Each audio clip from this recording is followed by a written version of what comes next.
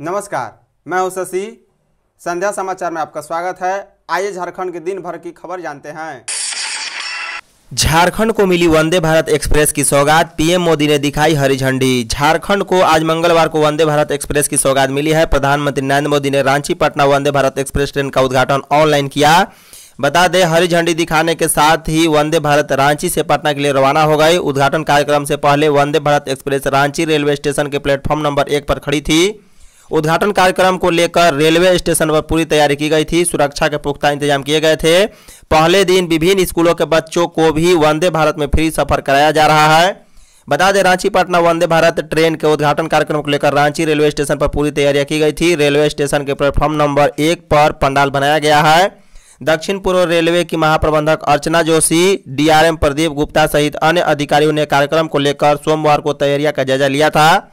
वहीं स्टेशन और स्टेशन के बाहर वंदे भारत के उद्घाटन को लेकर बड़े बड़े कट आउट लगाए गए हैं। स्टेशन परिसर के साथ साथ रेलवे ट्रैक पर भी सज सजा की गई है, जो काफ़ी आकर्षक लग रहा है।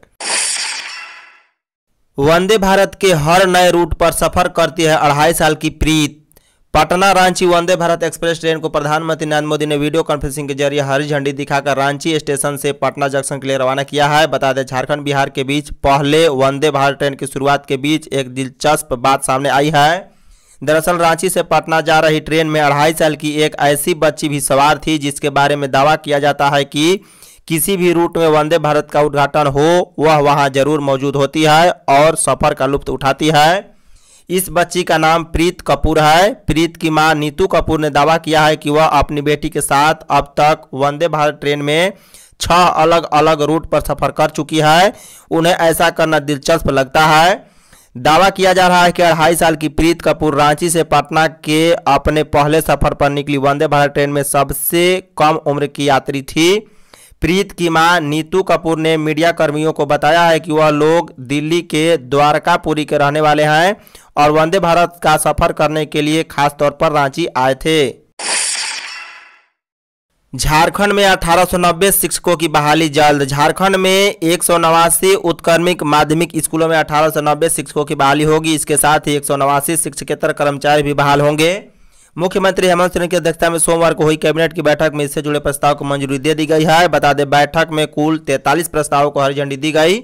मंत्रिमंडल सचिवालय एवं निगरानी विभाग की प्रधान सचिव वंदना दादेल ने कैबिनेट की बैठक में मंजूर हुए प्रस्ताव की जानकारी देते हुए बताया है कि राज्य के उत्क्रमिक माध्यमिक विद्यालयों में शिक्षक एवं शिक्षकेतर कर्मियों के पास सृजन के लिए मानक मंडल का निर्धारण करते हुए राष्ट्रीय माध्यमिक शिक्षा अभियान के अधीन वित्तीय वर्ष 2016-17 में उत्क्रमिक एक सौ नवासी माध्यमिक विद्यालयों में प्रधानाध्यापक, शिक्षक व शिक्षकेतर कर्मियों के पद सृजन की स्वीकृति से संबंधित प्रस्ताव मंजूर किया गया है।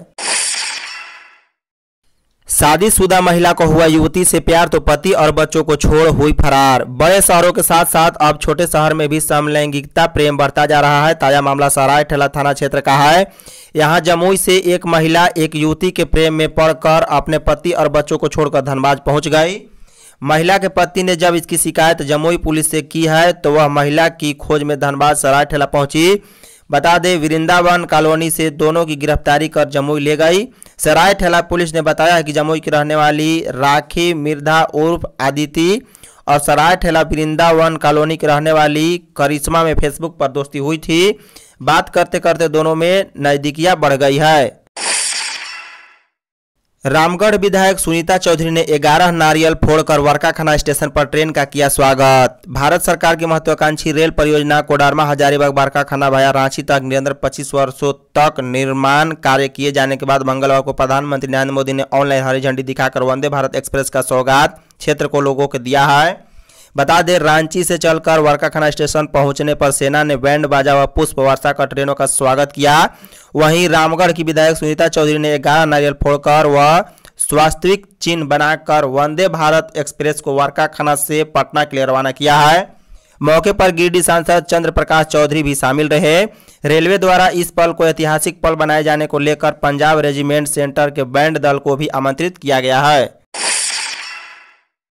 गुमला में तीन नाबालिग छात्राओं के साथ दुष्कर्म। झारखंड के गुमला में तीन नाबालिग छात्राओं के साथ दुष्कर्म का मामला सामने आया है। आरोपी पीड़ितों में से एक का बॉयफ्रेंड और उसके दो दोस्त हैं। मामला गुमला ज़िले के बसिया थाना क्षेत्र का है।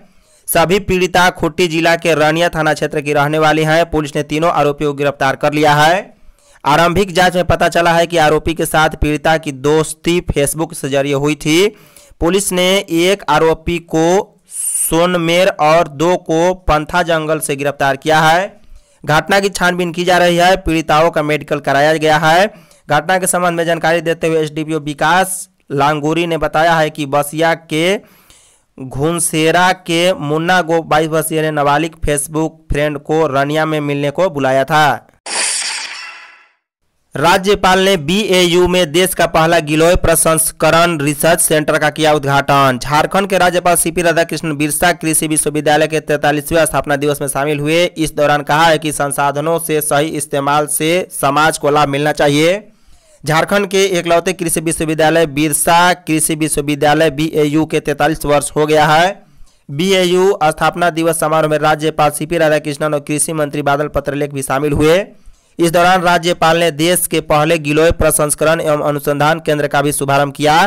कृषि कॉलेज ऑडिटोरियम में राज्यपाल ने कहा है कि बीएयू ने हाल के दिनों में राष्ट्रीय एवं अंतर्राष्ट्रीय स्तर के संस्थानों के साथ कई एमओयू किए हैं जो सकारात्मक कदम कहा जा सकता है। सदर अस्पताल में अब एक सौ रुपये में तीनों टाइम मिलेगा भरपेट खाना। सदर अस्पताल में आने वाले मरीजों और उनके अटेंडेंस को अब भोजन के लिए भटकना नहीं होगा। अस्पताल परिसर में कैंटीन के लिए प्रबंधन ने टेंडर निकाला है। संबंधित एजेंसी तीन जुलाई से पहले टेंडर के लिए आवेदन कर सकते हैं। वहीं चार जुलाई को क्रय समिति की ओर से टेंडर खोला जाएगा। दरअसल, सदर अस्पताल के मरीजों के लिए अस्पताल प्रबंधन की ओर से अभी तक कोई अस्थायी तौर पर भोजन की व्यवस्था नहीं की गई है। स्वास्थ्य विभाग के अपर मुख्य सचिव डॉक्टर अरुण कुमार सिंह के निर्देश के बाद अस्थायी तरीके से फ़िलहाल मरीजों को खाना मिल रहा है। अब अपना कैंटीन होने के बाद मरीजों को सहूलियत होगी। नवरात्र से पहले ट्रेनों में हो रही धड़ाधड़ बुकिंग। नवरात्र के दौरान अब ज़्यादातर ट्रेनों में कंफर्म टिकट मुश्किलें हैं। नवरात्र की शुरुआत छोड़िए। सोमवार को 24 अक्टूबर, यानी विजयदशमी के दिन की बुकिंग खुलते ही कोलकाता, जम्मू तवी एक्सप्रेस की सभी सीटें महज 10 मिनट में ही फुल हो गई।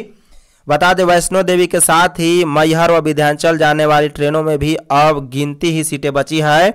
यही हाल उत्तराखंड जाने वाली दून एक्सप्रेस और कालका तक जाने वाली नेताजी एक्सप्रेस का भी है।